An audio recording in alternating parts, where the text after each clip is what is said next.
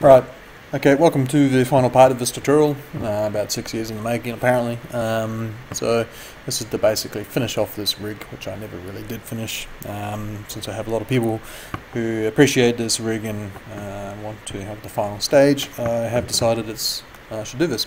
Anyway, um, a big thing to notice, I'm using Maya 2016, um, which has a significantly different interface to the rest of Maya. Um, so do play along, hopefully you can uh, follow along no problem. So I'm going to be making some adjustments to this rig because it's not up to what I call my uh, standard these days, um, but uh, simple changes and uh, they won't take you too long to fix up. So basically the rig at the moment um, uh, is not very adequate, uh, there's some very funky deformation stuff going on and things not deforming in a particular way that you, I would appreciate it. So when you twist we'll do rotate Y on these controllers here for example you get varying results that uh, is not ideal. And primarily when you rotate the main controller on the ground it's it's bad. Okay so let's uh, resolve these issues uh, once and for all. Okay so it's going to delete the animations it's sitting on here at the moment so delete all by type channels.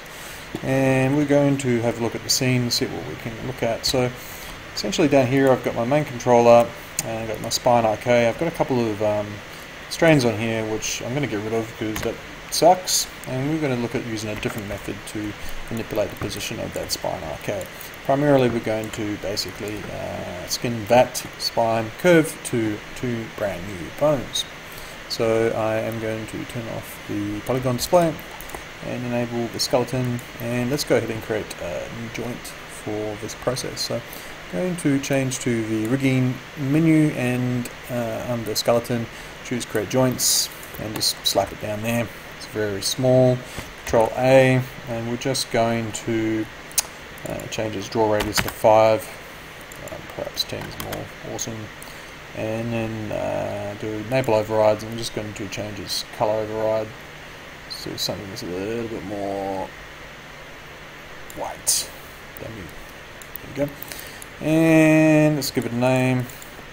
J J underscore lower. Uh, control do. And I'm just going to v-snap that up to the hips here which is the base of the um, uh, spine or spline. Duplicate that guy v-snap it up to the chest control area up here. And then I'm going to rename that guy call that upper UPR. Uh, it gives us two joints that we're interested in. So next I'm just going to grab the two joints and then the spine IK and then going up to the skin, I'm going to use bind skin but I'm just going to go to the option box here and we're going to change some of the options here. So just go edit and go reset settings. Um, essentially what we want to change it to uh, under the standard settings is joint hierarchy to select the joints. Then hit apply. Close that. So anyway, you can now then select this special little controller I've generated here and you can use it to manipulate the position of all of the joints under the control of that spline IK. Solution. So that's all kind of cool. So we're going to reorder the controllers here. So what I'm going to do is going to remove the chest control from the hierarchy uh, and the hip controller so it becomes uh, independent of the hip control itself. I will make a separate controller for this in a second. Okay, so what we're going to do is just check to see what's happening now. So if I grab this guy and twist it, it's twisting up here. If I grab this guy, it's rolling down here. So that's all manipulated through the spine IK. So select the spine IK from the outliner. I'll go to the window node editor and I will map the input connections on that and it will show me the incoming connections. So I through on the keyboard and you can see how I have roll and twist attributes uh, plugged by the chest control and the hip control um, and the rotate Y attributes respectively.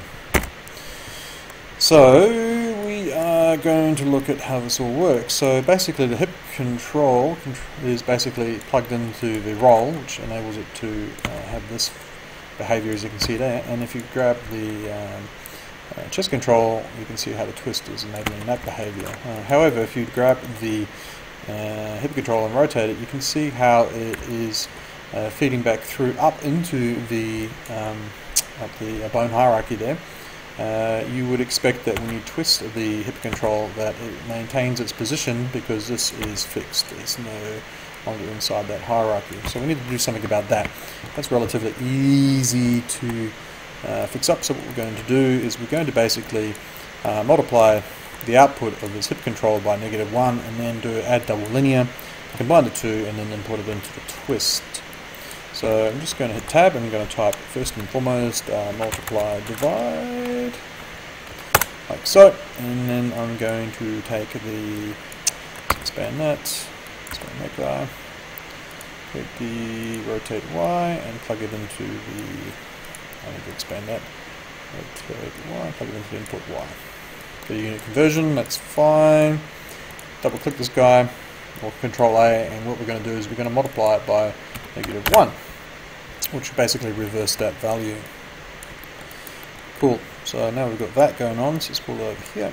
So now I'm going to get a new node called add double linear, so pressing tab again, add double linear, okay, expand that open, so I'm going to take the output Y and chuck it straight into the input here. Get another unit conversion, thanks man for doing that all of the time. And I'm going to take this uh, rotate Y and chuck that into the input 2. And then I'm going to take the output and just plug that straight into the twist. Okay, so if I grab this, it should still twist. If I grab this guy and move it, you can see now we've got a complete independent movement of the hips. The chest is completely independent from the hips itself, so we're all good to go now. So it's nice. Okay, so you can see it's not moving with it at the moment. Um, it's because I just need to move things around in the hierarchy here. So I've got the two joints I created earlier. Um, basically, I'm just going to move these guys into the hierarchy here. I'm just going to normal mouse drag that in. So here we go. So lower control is going to go into the hip control here, and the upper control is going to go into the chest control here. So when I grab it, it's actually moving around as expected. Cool. Rotate that. Yep. Rotate that. Nice. Okay, next. Right, so I'm going to create a new um, controller. It's going to be the uh, joint controller for controlling the position and orientation of the chest and hip controller. Um, I'm going to just call it a torso controller. So what I'm going to do is create a square on the ground. And so to do so, I'm just going to change to the modeling toolkit, go to the uh, create and then go choose the curve tools and choose EP curve tools but go to the options and just make sure it's uh, switched from cubic to linear because uh, basically what I'm going to do is I'm just going to draw a three sides of the square. So holding down X to snap to the grid. Drop the points out like so. W and you can go a three-sided square. And if you go to the uh, I don't know, curves here and just go and choose close uh, wherever you are and we'll finish off this particular uh, job like that. So then I'll V-snap that up here. And I'm just going to scale a little bit. This is going to become my main uh, control for the uh, torso, so I'm going to call it torso uh, control. Yep. And uh, this it's just going to the history, and then oh, I should have frozen transforms first. Whatever. I don't care. Right, that's good enough. And drag that inside the main control here, and drag my hip and chest controls and the torso control. So then I have a controller that basically moves everything around, like so, but I still have the independent hip and chest controls. So when I rotate this control, however, you can see how the rotate is not being fed up the chain at all. So this is primarily a roll problem here, if I think I'm correct. So what I'm going to do is open up node editor and I want to add this rotate Y value into the roll of the IK handle and hopefully that will solve all our problems. So let's uh, that guy to and control 1 and I want to grab, going to drag my torso controller in here And these all the way down here, of course. Thank you very much, Maya. And, uh, do, do, do, okay. So, let's try it. I'm going to add double linear now. It's a tab, add double linear. Expand that out. Take the rotate Y into input 1. Take the rotate Y this guy into input 2. And then I'm going to take the output and replace the roll in here. So let's see if we get the result we want. Here we go. Nice. And finally what we want to do is include this main controller on the ground here, which rotates everything around. You can also see how uh, this is not rotating the match as well. So what I want to do is also add the rotate Y value in this guy to the roll attribute of the IK handle here too. So I'm going to middle mouse drag that into the scene as well. Let's bring it over here. So it's going to be a mess of spaghetti here now. So let's move this up. Some conversions, put them in the right spot. Alright, so basically I'm going to add these two outputs together. So I'm going to add double linear again. Actually, I'll add it further down here. So get the order, order right. I'm going to add it in here. So preceding the actual plug here. Right, so we're going to add double linear. And for to expand that business. And we're going to just take the output of this guy and put 1 and I'm just going to take the rotate Y value of this guy and into input 2 and then plug the output into input 1 there we go. And there we go. That should be it. See. Okay sweet See, ring is good, rotating around as you expect. Not quite. That's not quite working. Oh, that's okay. Um, anyway, I will probably redo these tutorials completely anyway in the near future because uh, I'm no longer that happy with them. Uh, but for you out there who have been following these tutorials and got to the last stage and found that they were incomplete, uh, this will uh, help you out there get that fixed up. But I do encourage you to try and resolve your problems yourself as part of the learning process. Um, and also there are more than one way to do these kinds of rigs, so this may not be the right rig for you. But as you can see, it's a pretty good result. Um, that up. Okay. Just checking the rotates. Sweet.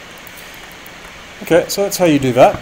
And um, yeah, it's a pretty simple solution to finishing off that rig. And uh, uh, hoping I can go ahead and do some brand new tutorials very soon.